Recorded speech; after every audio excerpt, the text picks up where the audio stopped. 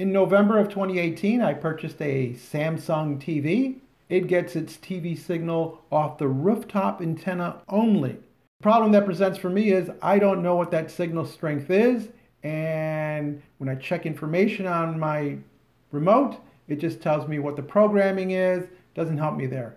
If I go into the guide, it lists all the available channels, but again, no signal strength information. But Samsung does provide a way for you to get that information. Simply hit enter when you're in the program guide, and that selects the channel. And then from there, you're going to hit settings.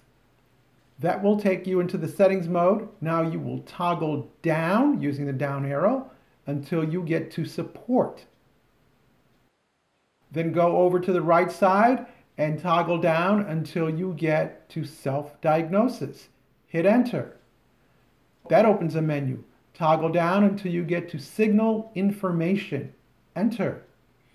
There's your signal to noise ratio, which is 22.4 on my system, 22.2 right now.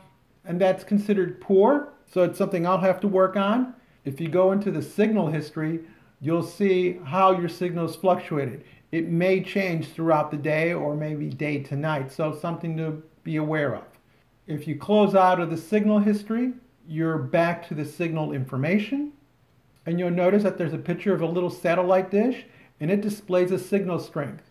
And obviously you want to be as close to the far left-hand side as you can be to have an optimal TV signal. Now we go back to signal information, back to our guide, and let's select another channel. We enter, channel comes up, we go to settings, in settings, we go down to support, enter that. Now go down to self-diagnosis, enter that, go down to signal information, and there's the signal information for your new channel. And like before, we can go into the signal history to view that history. You can close out of that, come back out to the information, and from there, go back out to the guide or to your channel. Note, while you're still in the signal information panel, you can use the up and down channel buttons on your remote to check the signal strength of other channels without having to exit out to the guide.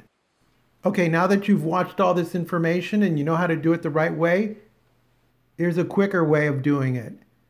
You hold down the info button for about five to six seconds and it will take you to the signal strength panel. I hope you found this helpful and interesting. I really couldn't find much information on the internet. That's why I made this video. If you like it, give us a thumbs up, leave us a comment, and if you can, please subscribe. And as always, thank you for watching.